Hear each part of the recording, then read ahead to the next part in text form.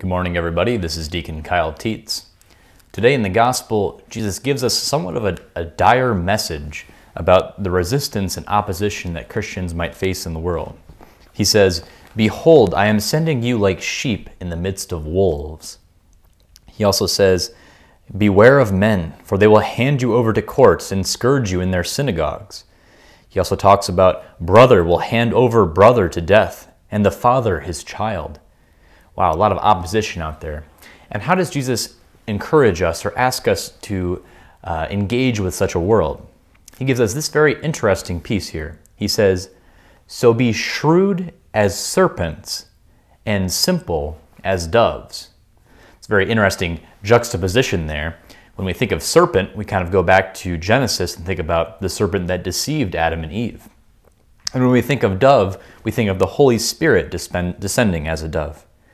So, what's Jesus getting at here? Shrewd as serpents and simple as doves. Well, I think when we engage with other people about the faith, uh, it's important that we do it with a, with a proper spirit, a proper attitude and disposition. Otherwise, we're just going to dissolve into fighting or speaking over each other.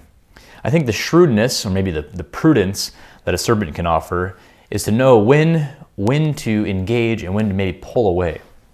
So I'm thinking of you know, maybe someone posts something kind of inflammatory on Facebook about the faith or whatever, and it's like, well, I should reply or say something to that. maybe prudence would dictate maybe that's not the best way to engage at this moment. Maybe sending a private message or talking to a person one on one later on would be better to know when to engage. It can be easy for a discussion to kind of de devolve into fighting or to arguing or yelling.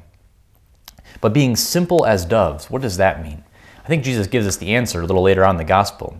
He says, Do not worry about how you are to speak or what you are to say. You will be given at that moment what you are to say, for it will not be you who speak, but the Spirit of your Father speaking through you. I think that means that if we live a life filled in the Spirit, attuned to the Holy Spirit, then in those moments where we're engaging with someone about the faith or truth or having a tough conversation, then the Holy Spirit will provide us with what we need to say. I think back to one summer where I had some roommates, uh, some new roommates, and the one night it just happened that we got, my one roommate and I got into like a three hour discussion about the faith, just totally unexpected. And I remember kind of as it was going on, it's like, well, I'm not sure what I'm supposed to say to like convince him here. But I think it was a true Holy Spirit moment, uh, being able to just kind of listen and engage in a peaceful, in a simple way, like a dove. So I think Jesus invites us today to attune ourselves uh, to the Holy Spirit, to be aware, have that shrewdness and that prudence of knowing when to engage.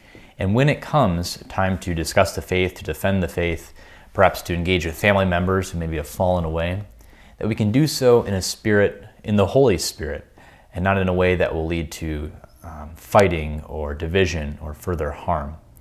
So let's pray today that the Holy Spirit may fill our hearts, that we might be willing to speak the words of the Holy Spirit and trust that He will speak for us. God bless everybody.